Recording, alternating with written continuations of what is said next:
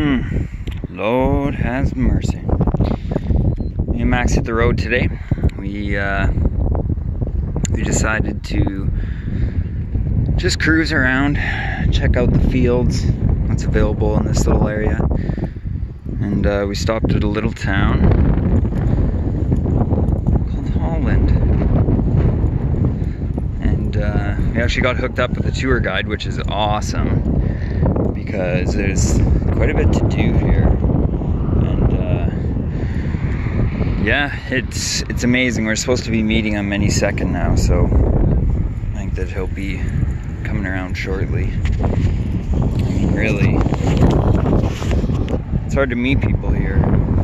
Know a lot about the area and a little bit about these towns and the history of all these places. So yeah.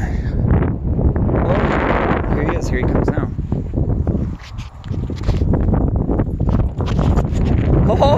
Jarpy! Just wanted to tell you that today is going to be an excellent journey across. Uh, oh, take a look! It's Holland. That's right. Okay, let's carry on our destination. You know, this is a beautiful, beautiful little town. There's a, there's a whole bunch of life and history here. There was, it uh, originated, uh, I believe his name was Carl was uh, the first uh, And he uh, landed here in uh, 1888, I believe. And uh, if you take a look at here, there's the bridges that go across. Now these names are uh, dedicated to the people who have uh, lost uh, individuals or the peoples. Hi everybody. How's your how's your trip today? That's good. Oh Max, You, he's very friendly. Yeah, he likes to say hi to everybody. His name is a Max. Yeah. Very good boy. Yeah. Yeah, you're welcome. You too. Come on, dog. He's always, always says hi to the peoples. Very kind, I tell you.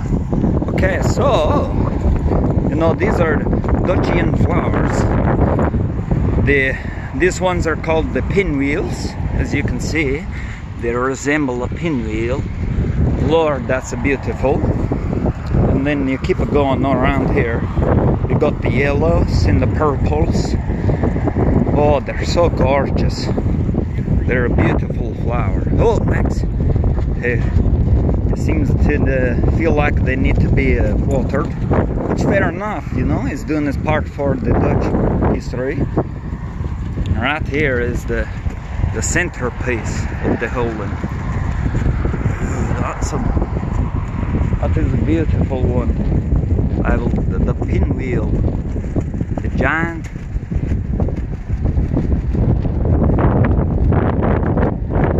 Uh, you know they used to use this for grounding up the flowers, not like the like these flowers, but the the wheat. Know they crush up uh, the wind carries those turbines, and then it uh, takes a big there was a rod in the inside which would spin and spin and they would put all their grains on the inside and it would crush it up and make a flour for bakeries. And that's what the Holland is very you know they're famous for all the bakeries all the treats that is there so yeah it's a beautiful place. Very very beautiful I think that uh, this tour is almost over. It's about it in Holland Manitoba yeah Holland back in uh, the homeland is a lot uh, bigger. But uh, we, we enjoy having a little bit of the homeland here in Manitoba. So I hope you enjoyed the tour. And uh, you know feel free to feel free to step by?